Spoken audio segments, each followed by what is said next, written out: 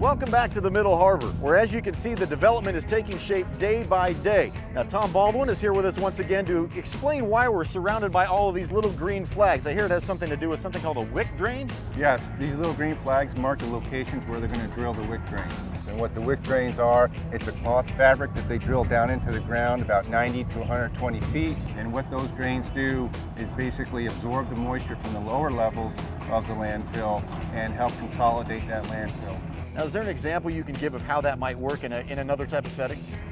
Uh, yes, actually, if you take like a uh, bowl of water and you take a shoestring, you cut off the ends, and you put one end in the bowl and you set the other end on the table, that shoe will, shoestring will actually wick water out of the bowl and onto the table.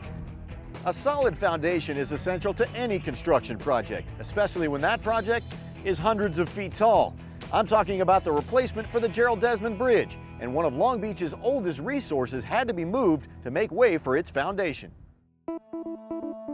This bridge we're driving on, the Gerald Desmond Bridge, is being rebuilt, and already construction is visibly changing the landscape. However, before foundations can be driven into the ground to support the weight of the new bridge, the land below, hundreds of feet below, also needs to be prepared. So what does this mean, especially when the site is also home to one of the largest oil fields in the United States? Basically, what they don't want to happen is to have their piles intersecting our well bores. So we need to make sure that our well bores, I mean our old wells, are out of the way of their piles, which is exactly what we're doing here. This is the most ambitious oil relocation project that we've ever worked on with the Port of Long Beach. We have wells that you can see behind me that are being removed. When we're all said and done, our top of our well will be 250 feet below our surface to accommodate the foundations that will be supporting the new bridge that's in development. And we just have a few left to do. There's a lot of utilities in the area, some of which need to be removed by third parties before we can access them. When we first started, it was taking months uh, but as our learning curve increased and we got better at it, we've been getting it down to knocking them out in a couple of weeks.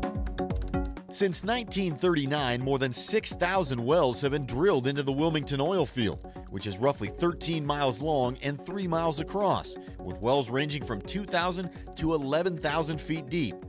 Over the past 40 years, most of these wells have been abandoned as their productive cycle came to an end, leaving behind an underground maze of capped wells or huge metal pipes called casings, which are filled with cement to prevent soil and water contamination. To prepare the land for the new bridge, these casings have to be removed and the land made secure.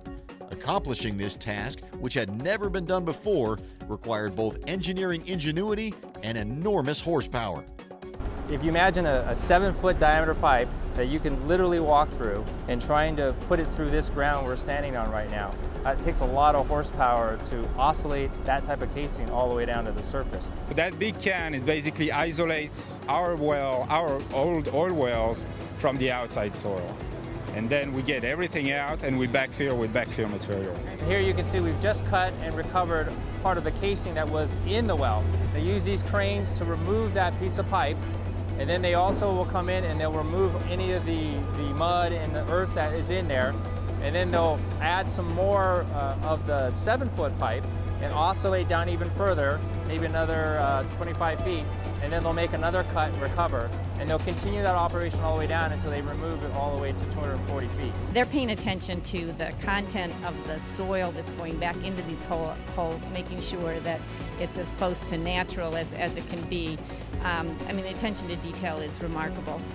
Additional wells are being drilled each year as the Long Beach portion of the field produces 9,000 barrels per day. That revenue benefits the state of California as well as Long Beach infrastructure and community projects. For more information on the Gerald Desmond Bridge Replacement Project, visit newgdbridge.com. There's more to come on Pulse of the Port, so stay tuned.